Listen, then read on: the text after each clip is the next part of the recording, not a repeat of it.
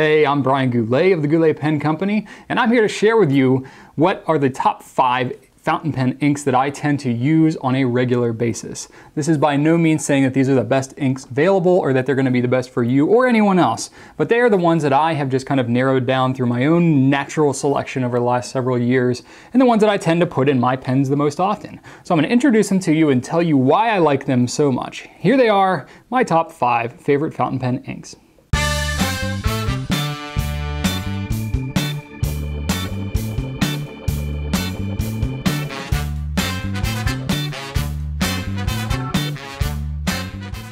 So here are my five favorite inks in no particular order. I don't have a real pecking order of my inks. I tend to use all different colors all the time. I switch them out and you know, I'm, I'm, a, I'm a serial ink sampler. I just love to test out different colors. That's a lot of the appeal that I find with fountain pens. It has been ever since I first got into them, still continues to be that way to this day. So that said, I'm just gonna share with you the five that I tend to gravitate towards the most on a regular basis. I have full bottles of these colors, which is kind of rare because like I said, I ink sample like crazy. But uh, the first one that I have to get into here is Noodler's Black. Noodler's Black is kind of just an old standby. As a general rule, I'm not a huge fan of black inks. There are a ton of them out there. I think I've had upwards of 50 different black inks in my store at one time.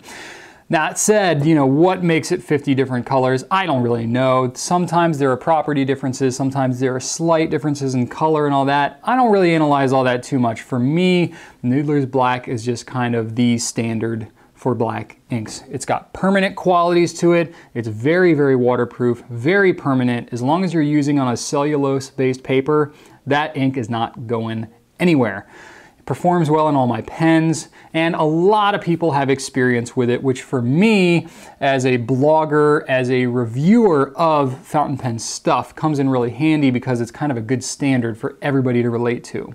So I have standardized it for my Nibnook, which is my tool that I have on gouletpens.com that I have written uh, writing samples of every single pen and nib combination that I carry in my store. Um, that's, what, that's the ink that I use as the standard for comparison. So I have probably more experience with that ink than I do with any other one. And whenever I need a black ink, whenever I need an ink with really, really permanent qualities, Noodler's Black is my standby. Another ink that I absolutely love and hate at the same time is Diamine Majestic Blue. Now, for those of you who have read about the legendary Parker Penman Sapphire. In my opinion, this ink is very, very close in color to the Parker Penman Sapphire. Now, Penman Sapphire is one of those inks that was only around for a few years, but it's got legendary status. This was like 20 years ago, maybe even more. I don't know exactly how long it's, it's been out, but it's still got legendary status. And because of that, it tends to vary quite a bit in terms of what people actually remember the color being. And any older bottles you might have of this color are probably a little bit different than what they were when the bottle was actually created. But it, I have a bottle of Penman Sapphire and the Diamine Majestic Blue is the closest match to it that I have ever seen. So that said, uh, Majestic Blue is one of my favorite colors of all time. It's a deep, dark, saturated blue, really dark blue, and it has this heavy red sheen to it that almost kind of gives it a little, not a purpley color, but it gives it this really extra dimension to the ink that you just don't get in most other inks. Now there are a couple others that are similar to it. Um, Private Reserve Electric DC Blue is kind of close. Uh, and so is Noodler's Ottoman Azure. But I find that Majestic Blue, there is just no replacement for it. I tend to use it in finer nibs, uh, but if I really want to dump it on in italic or something like that, you know, it really has that sheen come out. Now I will say that it smears like crazy. It takes forever to dry if you're using it on Clairefontaine Rhodia or something else that's really ink resistant. And if you're using it in a really humid environment, just forget it. It's gonna smear and stuff like crazy. You're gonna get it all over your fingers. But you know what? Even still, I love this ink to death. If you've ever watched one of my videos where I've used a flex pen or oftentimes an italic nib, uh, you'll see that I have used Noodler's Apache Sunset quite a bit. I just, I'm crazy about that ink. Not particularly because of the color necessarily, but because of the colors that that ink can put out.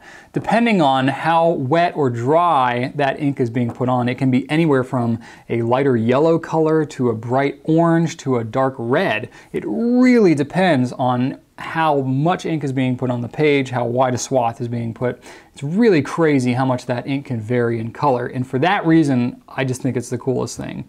I find it to be generally low maintenance in the pens, um, pretty easy to clean out. And so I tend to use it a lot in my flex nibs, in my italic nibs to really get that deep saturated, crazy color variation that you can find with very few other inks. Most other inks that have a heavy saturation will be just a lighter shade of that color to a darker shade, but this one is one that more drastically than any other ink I've used will actually change colors. So for that reason, Apache Sunset is definitely in my top five. This next ink I have a deeper connection to than just a matter of the color choice or its properties. Uh, Noodler's Liberty's Elysium is an ink that I actually worked in collaboration with Nathan Tardif of Noodler's Inc. uh, to design. And uh, the inspiration behind the ink was a follow-up to my initial uh, exclusive ink that I developed, Noodler's Purple Heart. That was an ink that was based off of George Washington and the Badge of Military Merit. I really wanted to continue the kind of tradition of the Founding Fathers, Virginia-based uh, theme that I had done with George Washington. And I have kind of a connection to Patrick Henry. Uh, because I went to Patrick Henry High School. I live just a matter of miles away from Scotchtown, and so I actually ride my bike through that area all the time. And so uh, I think it's really cool, the whole story, and there's so much Virginia history right around where I'm located and where I grew up. So I really wanted a Patrick Henry based ink. I wanted something around that. And also one of my favorite Noodler's colors was Noodler's blue. I'd been using it in my custom 74 with the blue tint uh, for uh, you know about a year or a year and a half before that ink uh, came out. So when I told Nathan, hey, look, I love Patrick Henry, I love Noodler's Blue, I would really love something like it, but with permanent qualities, especially because, you know, give me liberty or give me death. Uh, you want to talk about permanence and and uh, you know being steadfast in your ink. Uh, so Nathan kind of took that, ran with it, put some other themes in there with Nathan Hale, um, and um, just really kind of ran with the whole uh, theme. And he actually came up with the name Liberty's Elysium, and I just thought that was awesome for the purpose. So it was really a collaborative effort. We went back and forth several times about the colors and properties and stuff. And even though uh, the permanence of this ink is not completely waterproof such as Noodler's Black or some of the other ones, it definitely has that bulletproof permanent component to it so that if you're putting it on the cellulose-based papers, you will never truly be able to wash that ink away. So because of the, the meaning behind that ink, the shade of that blue, and the permanent qualities, Noodler's Liberty's Elysium is, is absolutely one of my favorite inks. Diamine Red Dragon is also one of my favorite inks. There's a lot of other really good inks out there, and honestly, I don't know why I'm so attracted to Red Dragon.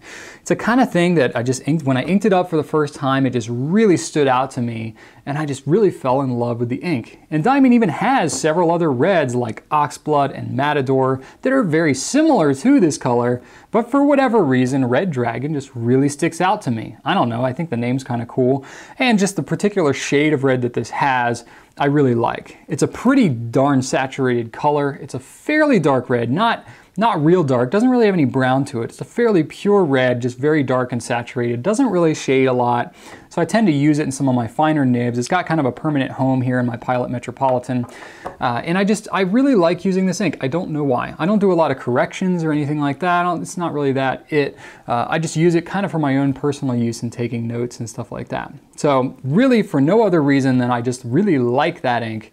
I tend to use it a lot, and so just naturally it's become one of my favorites. Now, I'm sure that you have your own opinions about what your top five favorite inks are, and I would actually really love to hear them. If you could post some of your favorites on this video in the comments on Ink Nouveau or on YouTube, or if you could uh, post on Facebook or Twitter with Goulet Pens, uh, I would really love to hear what you have as your favorite choices. These are just purely mine, purely opinion based. It's absolutely not intended to try to sell you on any of these inks or anything. I just thought that maybe you would like to hear from my own experience what are some of the ones that stand out to me based on my personal opinions. So thanks so much for watching this video and for spending time with me today. And as always, write on.